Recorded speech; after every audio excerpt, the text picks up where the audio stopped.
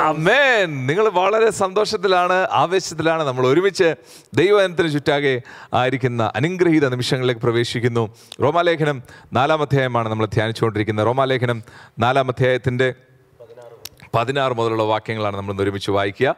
നമ്മൾ ഒരുമിച്ച് ആ ദൈവജന ഭാഗത്തേക്ക് നമ്മുടെ ചിന്തകൾ ധ്യാനത്തിനായി തിരിക്കാം. റോമർ റോമർക്കെഴുതിയ ലേഖനം നാലാമത്തെ അധ്യായം പതിനാറ് മുതൽ. അതുകൊണ്ട് കൃപാദാനം എന്ന് വരേണ്ടതിന് വിശ്വാസത്താലത്രേ അവകാശികളാകുന്നത്. വാഗ്ദത്തം സകല സന്തതിക്കും ന്യായപ്രമാണമുള്ളവർക്ക് മാത്രമല്ല അബ്രഹാമിന്റെ വിശ്വാസമുള്ളവർക്കും കൂടെ ഉറപ്പാകേണ്ടതിന് തന്നെ. മരിച്ചവരെ ജീവിപ്പിക്കുകയും ഇല്ലാത്തതിനെ ഉള്ളതിനെ പോലെ വിളിക്കുകയും ചെയ്യുന്നവനായി താൻ വിശ്വസിച്ച ദൈവത്തിന്റെ ദൃഷ്ടിയിൽ അവൻ നമുക്കെല്ലാവർക്കും പിതാവാകേണ്ടതിന് തന്നെ. ഞാൻ നിന്നെ ബഹുജാതികൾക്ക് പിതാവാക്കി വെച്ചു എന്നെഴുതിയിരിക്കുന്നുവല്ലോ. നിന്റെ സന്തതി ഇവണ്ണമാകും എന്നരുളി ചെയ്തിരിക്കുന്നത് പോലെ തൻ ബഹുജാതികൾക്ക് പിതാവാകും എന്ന് അവൻ ആശയ്ക്ക് വിരോധമായി ആശയോടെ വിശ്വസിച്ചു. അവൻ ഏകദേശം നൂറ് വയസ്സുള്ളവനാകയാൽ തന്റെ ശരീരം നിർജീവമായി പോയതും സാറായുടെ ഗർഭപാത്രത്തിന്റെ നിർജീവത്വവും ഗ്രഹിച്ചിട്ടും വിശ്വാസത്തിൽ ക്ഷീണിച്ചില്ല. ദൈവത്തിന്റെ വാഗ്ദത്തത്തിങ്കൽ അവിശ്വാസത്താൽ സംശയിക്കാതെ വിശ്വാസത്തിൽ ശക്തിപ്പെട്ട് ദൈവത്തിന് മഹത്വം കൊടുത്തു. അവൻ വാഗ്ദത്തം ചെയ്തത് പ്രവർത്തിപ്പാനും ശക്തൻ എന്ന് പൂർണമായി ഉറച്ചു. അതുകൊണ്ട് അത് അവന് നീതിയായി കണക്കിട്ടു. അവന് കണക്കിട്ടു എന്നെഴുതിയിരിക്കുന്നത് അവന് വിചാരിച്ചു മാത്രം അല്ല നമ്മെ വിചാരിച്ചും കൂടെ ആകുന്നു. നമ്മുടെ അതിക്രമങ്ങൾ നിമിത്തം മരണത്തിനേൽപ്പിച്ചും നമ്മുടെ നീതീകരണത്തിനായി ഉയർപ്പിച്ചുമിരിക്കുന്ന നമ്മുടെ കർത്താവ് യേശുവിനെ മരിച്ചവരിൽ നിന്ന് ഉയർപ്പിച്ചവനിൽ വിശ്വസിക്കുന്ന നമുക്കും കടക്കിടുവാനുള്ളതാകിയാൽ തന്നെ. സ്തോത്രം. ധന്യമായ ഈ അനുഗ്രഹീത ദൈവത്തിന്റെ വചന ഭാഗത്തിനായി ദൈവത്തെ വീണ്ടും സ്തുതിക്കുകയും വാഴ്ത്തുകയും ചെയ്യുന്നു. നമ്മൾ ഒരുമിച്ച് ഈ ദൈവവചന ഭാഗം ഇന്ന് ചിന്തിക്കുമ്പോൾ ഈ റോമർക്ക് എഴുതിയ ലേഖനത്തിന്റെ ചരിത്രപരമായ പശ്ചാത്തലങ്ങളെക്കുറിച്ച് ഈ ആദ്യ ദിനങ്ങളിൽ തന്നെ നമ്മൾ ചിന്തിക്കുകയുണ്ടായി. പ്രത്യേകിച്ചും റോമ പട്ടണം സന്ദർശിക്കുന്നതിന് മുമ്പായിട്ട് പൗലോസ് തന്റെ പ്രിയപ്പെട്ടവരായി റോമിലുള്ള ദൈവസഭയ്ക്ക് എഴുതിയ ഒരു ലേഖനമാണെന്ന് നമുക്കറിയാം. പ്രത്യേകിച്ച് മൂന്ന് മിഷണറി യാത്രകൾ കഴിഞ്ഞിട്ട് എരിശിലേമിലേക്ക് താൻ പോകുന്നതിന് മുമ്പായിട്ട് മുമ്പായിട്ട് താൻ റോമർക്ക് എഴുതി റോമിലേക്കുള്ള ദൈവസഭയ്ക്ക് എഴുതി അയച്ച ഒരു ലേഖനമാണിത്. പ്രത്യേകിച്ചും അദ്ദേഹം എരുഷ്ലേമിലേക്ക് പോകുന്നതിന് മുമ്പായി പ്രത്യേകിച്ച് നമുക്കറിയാം അന്ന് ഇന്ന് പോ ഇന്നുള്ളതുപോലുള്ള ആ, തപാൽ സൗകര്യങ്ങളൊന്നും ഉണ്ടായിരുന്നില്ല. താൻ അങ്ങനെ പോകാൻ തയ്യാറെടുക്കുന്നതിന് മുമ്പായിട്ട് ഒരു പ്രിയപ്പെട്ട വ്യക്തി റോമിലേക്ക് പോകുന്നതെന്ന് അറിഞ്ഞുകൊണ്ട് തന്റെ കൈവശം കൊടുത്തുവിടുന്ന ഒരു ഒരു ഒരു കത്താണിത്. അതെ പരിമിതികൾക്കുള്ളിൽ കൊടുത്തുവിടുന്ന ഒരു കത്താണിത്. അപ്പോൾ ആ കത്തിനകത്ത് തന്റെ ആ സഭയെക്കുറിച്ചുള്ള തന്റെ വാഞ്ചയൊക്കെ തന്നെ എഴുതി അറിയിക്കുകയാണ്. പ്രത്യേകിച്ചും അന്നത്തെ ഒരു പ്രധാനപ്പെട്ട ഒരു ചിന്താധാരയായിരുന്നു. യഹൂദ മത അല്ലെങ്കിൽ യഹൂദ രീതികളനുസരിച്ച് അബ്രഹാമിന്റെ സന്തതിയായി ജനിച്ച ഓരോ വ്യക്തികളുമാണ് യഹൂദരായിട്ട് തുടരുക സ്വാഭാവികമായിട്ട്. എന്നാൽ അങ്ങനെ സന്തതി പരമ്പരയിലുള്ള വ്യക്തികളല്ലാതെ യഹൂദന്മാരായി തീരാൻ തീരാൻ ആ വാഞ്ചിക്കുന്ന വ്യക്തികൾ പരിച്ഛേദന എന്ന് പറയുന്ന ഒരു കർമ്മത്തിലൂടെ കടന്നു പോകേണ്ടതായിട്ട് ഉണ്ടായിരുന്നു. അതായിരുന്നു അവിടെ യഹൂദ മതാനുസാരികളായിരുന്നവരുടെ രീതി.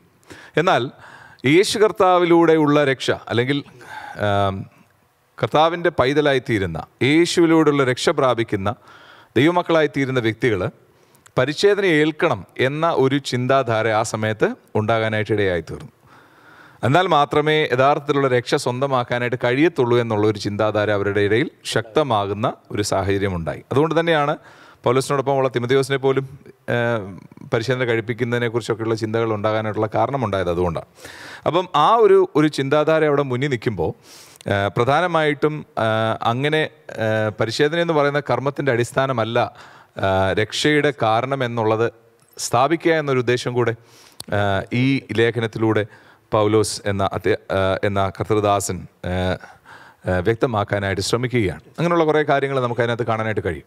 ലേഖനത്തിന്റെ ഇതുവരെയുള്ള ഭാഗങ്ങൾ കഴിഞ്ഞ ദിവസം ഇന്നലെ നമ്മൾ സംസാരിച്ചപ്പോൾ കർത്താവിന്റെ ദാസന്മാർ ഒരുമിച്ച് നമ്മൾ സംസാരിച്ച സമയത്ത് അജയൻ പോൾ പാസ്റ്റർ പറഞ്ഞ കാര്യം നമ്മൾ ഓർക്കുന്നുണ്ടാവുമല്ലോ. ഓരോ അധ്യായങ്ങളിലും ഒന്നാമത്തെ അധ്യായത്തിൽ നമ്മൾ കണ്ടു ജാതികൾ എങ്ങനെയാണ് ദൈവത്തിൽ നകന്ന് പാപികളായി ജീവിക്കുന്നത്. അതുപോലെ തന്നെ രണ്ടാമത്തെ അധ്യായത്തിൽ വന്നപ്പോൾ യഹൂദൻ എന്താണ് പിന്നെ സവിശേഷതയുള്ളത് ഇത് യഹൂദിന് നിശ്ചയമായിട്ട് സവിശേഷതയുണ്ട്. കാരണം ദൈവത്തിന്റെ ന്യായപ്രമാണം അവർക്ക് അവർക്കാണ് കൊടുത്തത്. പക്ഷേ അവരെന്ത് ചെയ്തില്ല? അത് അനുസരിക്കുന്നതിൽ പരാജയപ്പെട്ടു പോകാനായിട്ട് ഇടയായി തീർന്നു മൂന്നാമത്തെ അധ്യായത്തിൽ നമ്മൾ കണ്ടു കർത്താവ് മാത്രമാണ് ഏക വഴി യേശുവിലൂടെ മാത്രമേ ഉള്ളൂ രക്ഷ എന്ന് നമ്മൾ കാണാനായിട്ട് ഇടയായി തീർന്നു നാലാമത്തെ അധ്യായത്തിലേക്ക് വരുമ്പോൾ നമ്മളിവിടെ പ്രധാനമായിട്ട് കാണുന്ന വ്യക്തി ആരാണ്? അബ്രഹാമാണ്. അബ്രഹാം. എന്ന് പറയുന്ന വ്യക്തി അദ്ദേഹത്തിന് അദ്ദേഹത്തിന് എങ്ങനെയാണ് അദ്ദേഹം എങ്ങനെയാണ് അദ്ദേഹത്തെക്കുറിച്ച് എങ്ങനെയാണ് ദൈവത്തിന്റെ വാചനം വ്യക്തമാക്കുന്നത് എന്നുള്ളതാണ് അല്ലേ? എനിക്ക് ദേവാസനെ ആ ഇന്നലെ കഴിഞ്ഞ ദിവസം വായിച്ച വാക്യമാണെങ്കിൽ നാലാം അധ്യായത്തിന്റെ ഇവിടെ നാലാം അധ്യായത്തിന്റെ രണ്ടാമത്തെ വാക്യം. രണ്ടാമത്തെ വാക്യം. അബ്രഹാം അബ്രഹാം പ്രവൃത്തിയാൽ നീതീകരിക്കപ്പെട്ടു എങ്കിൽ അവന് പ്രശംസിപ്പാൻ സംഗതിയുണ്ട്. ദൈവസന്നിധിയിൽ ഇല്ലതാനും. മൂന്നാം വാക്യം. തിരുവഴുത്ത് എന്ത് പറയുന്നു. അബ്രഹാം ദൈവത്തെ വിശ്വസിച്ചു. അത് അവന് നീതിയായി കണക്കിട്ട് എന്ന് തന്നെ. ലോഡ് അബ്രഹാം ദൈവത്തെ വിശ്വസിച്ചു.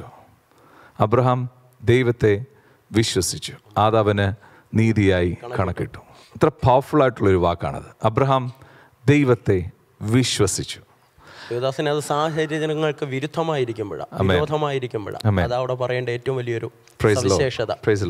ഈ വിശ്വസിച്ചു എന്ന് പറയുന്ന ഒരു വാക്ക് വിശ്വസിച്ചു എന്ന് പറയുന്ന ഒരു വാക്കിന് നമ്മളതിന് ഒരു ഒരു ഉപരിവിപ്ലവമായ അല്ലെങ്കിൽ മറ്റ് ചിന്തകളൊന്നും ഇല്ലാത്ത ഒരു സിമ്പിളായിട്ടുള്ള ഒരു മീനിങ് കൊടുത്താൽ നമ്മൾ സാറിന് പറയാറില്ലേ ചില വ്യക്തികളെ കൊച്ചു ജീസസ് ലാംസിനെയൊക്കെ സംബന്ധിച്ചിടത്തോളം പറഞ്ഞാൽ നമുക്കറിയാം ചില ആളുകളെ അവർക്ക് വിശ്വാസമാണ് അല്ലേ? അവർ പറഞ്ഞാൽ അവർക്ക് വിശ്വാസമാണ് ഡാഡി പറഞ്ഞ വിശ്വാസമാണ് ഡാഡി പറഞ്ഞാൽ അത് ചെയ്തു കൊടുക്കും. അവർക്കത് വിശ്വാസമാണ് എന്നാൽ ചില വ്യക്തികളെ വിശ്വാസമല്ല. അവർ അവർ പറഞ്ഞു കഴിഞ്ഞാൽ അവർക്കറിയാം അത് പറഞ്ഞിട്ട് യാതൊരു കാര്യവും ഇല്ല. ആ പറയുന്ന വാക്കിനൊന്നും ഒരു അർത്ഥവും ഇല്ല. നമുക്കറിയാം ആ വ്യക്തി ചില വ്യക്തികൾ അങ്ങനെയാണ്. പക്ഷേ ചില ആളുകൾ പറഞ്ഞു കഴിഞ്ഞാൽ യെസ് അവരുടെ വാക്കിന് വിലയുണ്ട്. അല്ലേ?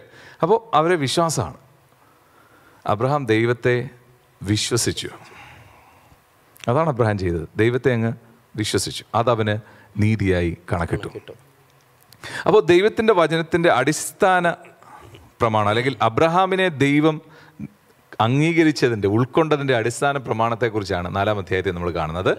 അബ്രഹാം ദൈവത്തെ വിശ്വസിച്ചു. എന്നുള്ളതാണ്. അപ്പോൾ അവിടെ അതിന്റെ താഴെ പിന്നീട് കാണുന്ന ഒരു കാര്യമുണ്ട്. പലപ്പോഴും അബ്രഹാം വിശ്വാസത്തിന്റെ പിതാവായിട്ട് അറിയപ്പെടുമ്പോൾ യഹൂദന്മാരുടെ അല്ലെങ്കിൽ യഹൂദ മതത്തിന്റെ പ്രഥമ വ്യക്തിയായിട്ടൊക്കെ അറിയപ്പെടുമ്പോൾ അബ്രഹാം പിന്നീട് പരിശീലന ഏൽക്കപ്പെട്ട കാര്യമൊക്കെ നമ്മളവിടെ ഡിസ്കസ് ചെയ്യുകയാണ്. പക്ഷേ അബ്രഹാം ദൈവത്താൽ അംഗീകരിക്കപ്പെട്ടത് പരിശീലന ഏൽക്കുന്നതിന് വളരെ മുൻപാണ്. അതിനുശേഷമാണ് പരിശീലന എന്ന കർമ്മമൊക്കെ നടക്കുന്നത്.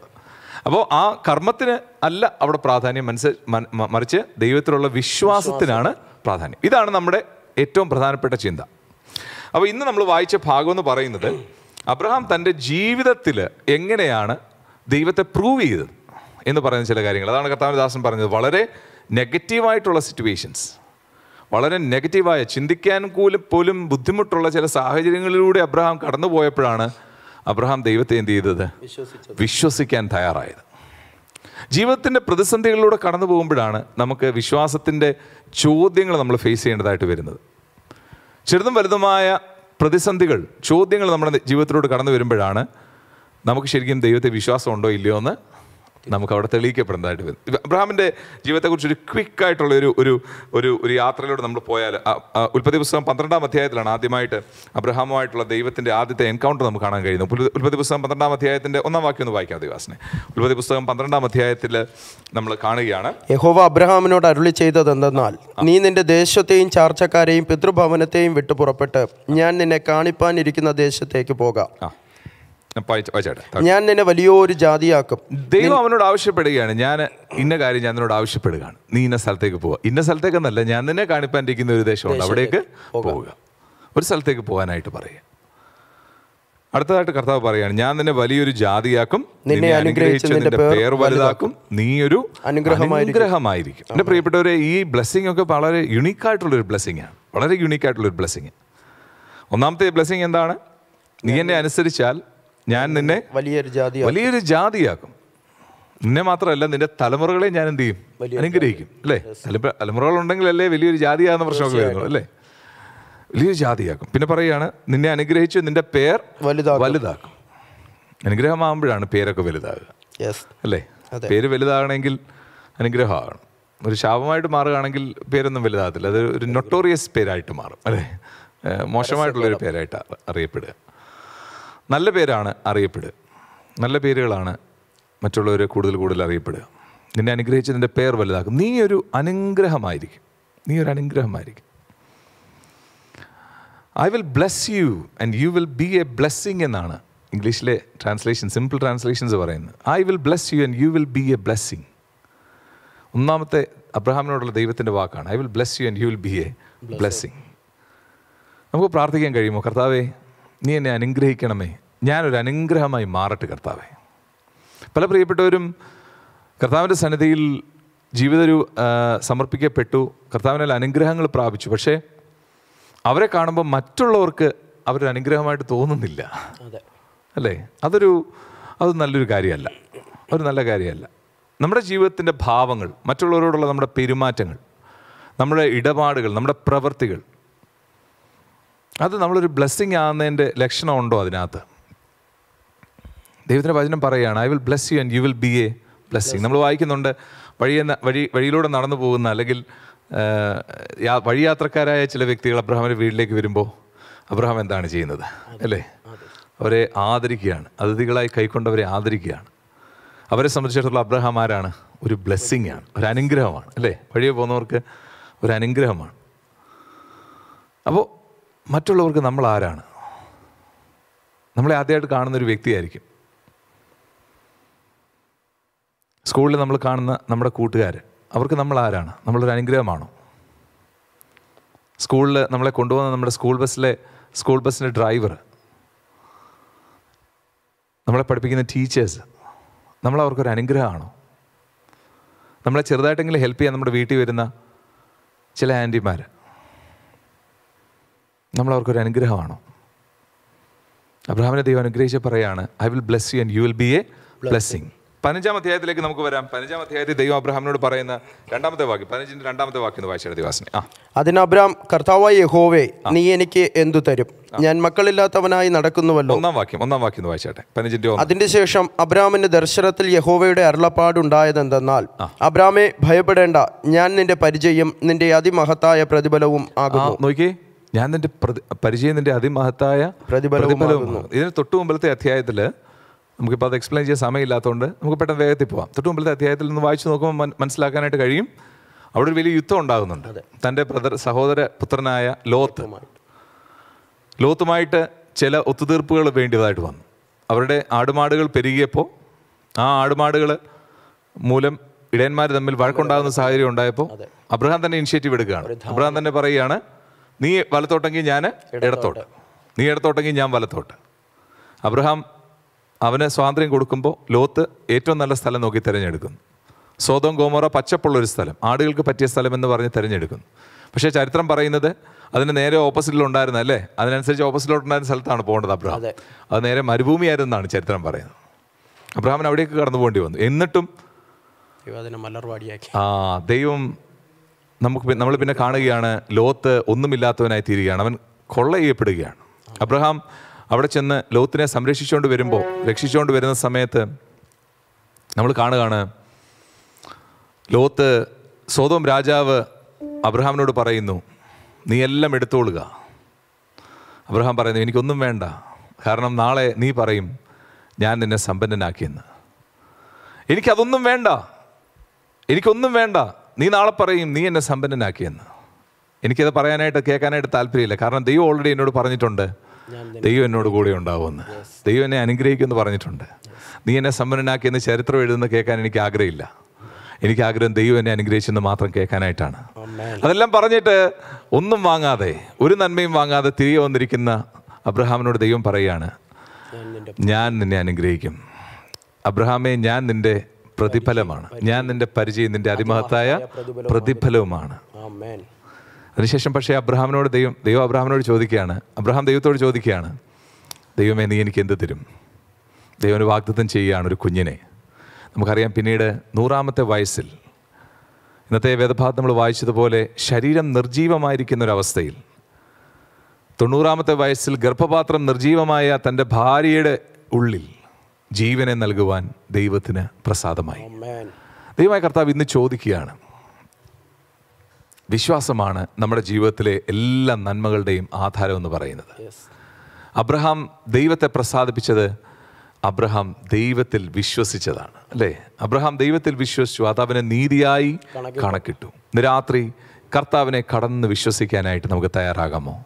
നമ്മുടെ ജീവിതത്തിന്റെ പ്രതിസന്ധികളുടെ നടുവിൽ നമ്മുടെ ജീവിതത്തിന്റെ ശൂന്യതകളുടെ നടുവിൽ എന്റെ ദൈവമേ നിന്നിൽ ഞാൻ ആശ്രയിക്കുന്നു. എന്റെ ജീവിതത്തിന്റെ എല്ലാ അസാധ്യതകളെയും ഇന്ന് കർത്താവിന്റെ സന്നിധിയിൽ വെക്കുവാൻ ഞാൻ ആഗ്രഹിക്കുന്നു എന്ന് പറഞ്ഞ് കർത്താവിനോട് കർത്താവിന്റെ കരങ്ങളിലേക്ക് നമ്മുടെ അസാധ്യതകളെ കൊടുക്കാൻ നമ്മൾ തയ്യാറാകുമോ? ഹൃദയഭാരങ്ങളെ ദൈവത്തിന്റെ കരങ്ങളിലേക്ക് കൊടുക്കാൻ തയ്യാറാകും ഒരു നിമിഷം നമുക്ക് നമ്മുടെ ഹൃദയങ്ങളെ കർത്താവിന്റെ കരങ്ങളിലേക്ക് സമർപ്പിച്ച് നമുക്ക് പ്രാർത്ഥിക്കാം. കർത്താവെ എന്റെ എനിക്ക് ഭാരമായ പല കാര്യങ്ങളുണ്ട്. എനിക്ക് ഹാൻഡിൽ ചെയ്യാൻ പറ്റാത്ത പല കാര്യങ്ങളുണ്ട്. പക്ഷേ അവയുടെ ഭാരങ്ങളും വഹിച്ചുകൊണ്ട് ഇന്ന് രാത്രി ഞാൻ വിശ്രമിക്കാൻ പോകുന്നില്ല. ഇന്ന് രാത്രി ഉറക്കമില്ലാത്തൊരു രാത്രിയായി തീരാൻ ഞാൻ ചിന്തിക്കുന്നില്ല. മറിച്ച് അതിനെല്ലാം താങ്ങാൻ കഴിവുള്ള അങ്ങയുടെ കരങ്ങളിലേക്ക് അതിനെ തന്ന് വിശ്രമിപ്പാൻ ഞാൻ ആഗ്രഹിക്കുന്നു. അങ്ങനെ പ്രാർത്ഥിക്കാൻ ആഗ്രഹിക്കുന്ന എത്ര പേരുണ്ട്. ഇന്ന് രാത്രി മുഴങ്കാലുകൾ നമ്മൾ ദൈവത്തിനെ പ്രാർത്ഥിക്കാനായിട്ട് പോവുകയാണ്. നമ്മുടെ ഭാരങ്ങൾ കർത്താവിന്റെ കരങ്ങളിലേക്ക് ഇട്ട് കൊടുക്കാം വെച്ചു കൊടുക്കാം കർത്താവിനോട് നമുക്ക് പറയാം കർത്താവെ അബ്രഹാം ദൈവത്തെ വിശ്വസിച്ചു. അതവന് നീതിയായി കണക്കിട്ടു. ഞങ്ങളുടെ ദൈവത്തെ ഞങ്ങൾ വിശ്വസിക്കുന്നു. കർത്താവെ ഞങ്ങളുടെ ഭാരങ്ങൾ ദൈവത്തിന്റെ കരങ്ങളിലേക്ക് ഞങ്ങൾ സമർപ്പിക്കുന്നു. ഞങ്ങൾക്ക് ബുദ്ധിമുട്ടായ കാര്യങ്ങൾ ഞങ്ങൾ കർത്താവിന്റെ കരങ്ങളിലേക്ക് സമർപ്പിക്കുന്നു. ഞങ്ങൾക്കിത് താങ്ങാൻ കഴിവില്ല കർത്താവെ. ഞങ്ങൾ അങ്ങയുടെ കരങ്ങളിലേക്ക് സമർപ്പിക്കുന്നു. അങ്ങ് ഞങ്ങളുടെ കരങ്ങളിൽ നിന്ന് ഇത് കൈമാറുന്ന ഒരു രാത്രിയായി ഇത് മാറണമേ. ദൈവരങ്ങളിലെ കാര്യങ്ങൾ ഏൽപ്പിച്ചു കൊടുത്തുകൊണ്ട് നമുക്ക് പ്രാർത്ഥിച്ചാട്ടെ. നമ്മുടെ ഹൃദയഭാരങ്ങൾ ദൈവസന്നിധിയിലേക്ക് കൊടുത്തുകൊണ്ട് പ്രാർത്ഥിച്ചാട്ടെ. ഹാലെ ലൂയ്യ ഹാലെ ലൂയ്യ ഹാലെ ലൂയ്യ ഹാലെ ലൂയ്യ ഹാലെ ലൂയ്യ ഹാലെ ലൂയ്യ നിങ്ങൾക്ക് ബുദ്ധിമുട്ടുള്ള ഏതൊക്കെ സബ്ജക്റ്റുകളാണ് മക്കളെ? നമുക്ക് ഒരുമിച്ച് ദൈവത്തോട് പറയാം കർത്താവേ ഈ സബ്ജക്റ്റുകൾ പഠിക്കാനായിട്ടുള്ള ഒരു പ്രത്യേക കൃപ ഞങ്ങളുടെ മേൽ നൽകണമേ. കർത്താവെ ഈ ചില ചില കാര്യങ്ങൾ ചിന്തിക്കുമ്പോൾ തന്നെ എനിക്ക് വലിയ ഭാരം ഉണ്ടാകുന്നുണ്ട് വലിയ ഭയം ഉണ്ടാകുന്നുണ്ട്. കർത്താവെ ആ ഭയങ്ങളെ ഹാൻഡിൽ ചെയ്യാനുള്ള ഒരു പ്രത്യേക ഗ്രേസ് എന്റെ മേൽ ഇന്ന് നൽകണമേ. ഇന്ന് രാത്രി കർത്താവെ സ്തോത്രം. ദൈവത്തിന്റെ ഒരു പ്രത്യേക കൃപയാൽ എന്നെ നയിക്കണമേ. ഹാലി ലൂയ്യ ദൈവത്തെ വിശ്വസിപ്പാനുള്ള ഒരു പ്രത്യേക ഗ്രേസ് എനിക്ക് തരണേ കർത്താവ്. നമ്മൾ ഒരുമിച്ച് ദൈവസിനെ പ്രാർത്ഥിക്കുന്നു. നമുക്ക് ഒരുമിച്ച് ദൈവസിനെ പ്രാർത്ഥിക്കാം. ഒരുമിച്ച് ദൈവസിനെ പ്രാർത്ഥിക്കാം. കർത്താവ് അതിനുള്ള അതിനുവേണ്ടിയുള്ള ഒരു പ്രത്യേക കൃപ എനിക്ക് നൽകണമേ എന്ന് ദൈവത്തോട് പ്രാർത്ഥിച്ചാട്ടെ. നമ്മൾ ഒരുമിച്ച് ദൈവത്തിന് ഇന്ന് രാത്രി പ്രാർത്ഥിക്കുമ്പോൾ കർത്താവിന്റെ ദാസ് ഷൈൻ രാജ് പാസ്റ്റർ നമ്മൾ ഒരുമിച്ച് പ്രാർത്ഥിക്കുമ്പോൾ പ്രാർത്ഥന നമ്മെ സഹായിക്കും. ഞങ്ങളുടെ പ്രിയ പിതാവേ അനുഗ്രഹിക്കപ്പെട്ട നല്ല രാത്രിയുടെ നിമിഷങ്ങൾക്കായി സ്തോത്രം. ഈ രാത്രിയിൽ ഞങ്ങൾ വചനത്തിൽ നിന്നും അല്പസമയം ചിലതൊക്കെ ധ്യാനിപ്പാനുള്ള കൃപ ദൈവം നൽകിയല്ലോ. ഞങ്ങളുടെ ദാസൻ പറഞ്ഞതുപോലെ എല്ലാം നന്നായി ഗ്രഹിപ്പാൻ എല്ലാം നന്നായി ചെയ്യുവാൻ ആവശ്യമായ ദൈവകൃപ ദൈവകൃപ ഞങ്ങളുടെ മേൽ പകരണമേ. അപ്പോൾ തന്നെ കർത്താവെ വിശ്വാസി എന്ന പേരുള്ളപ്പോൾ പലപ്പോഴും ഞങ്ങളിൽ വിശ്വാസമില്ലാത്ത അനുഭവങ്ങൾ. എന്നാൽ ഈ രാത്രിയിൽ ഞങ്ങളിൽ വിശ്വാസം. വർദ്ധിക്കേണ്ടുന്നതിന് കർത്താവെ അബ്രഹാം വിശ്വാസത്താൽ ചിലതൊക്കെ പ്രാപിച്ചതുപോലെ ഈ നാളുകളിൽ വാഗ്ദത്തങ്ങളുടെ നിവർത്തീകരണത്തിലേക്ക് ഞങ്ങൾ നടത്തേണ്ടുന്നതിന് വിശ്വാസത്തിൽ ഞങ്ങളെ വളരുമാക്കണ വളരുമാറാക്കണമേ എന്ന് പ്രാർത്ഥിക്കുകയാണ്. തുടർന്ന് നടക്കപ്പെടേണ്ടുന്ന ശുശ്രൂഷകളെ അനുഗ്രഹിക്കണമേ വചനത്തിലൂടെ ഞങ്ങളോട് ഇടപെടണമേ. സകല പ്രിയപ്പെട്ടവരെയും ഞങ്ങൾ ഒരുമിച്ച് പിതാവിന്റെയും പുത്രന്റെയും പരിശുദ്ധാത്മാവിന്റെയും നാമത്തിൽ അനുഗ്രഹിക്കുന്നു. അത്ഭുതം ചെയ്യും യേശു ക്രിസ്തുവിൻ നാമത്തിൽ തന്നെ പിതാവേ. അമേ അമേ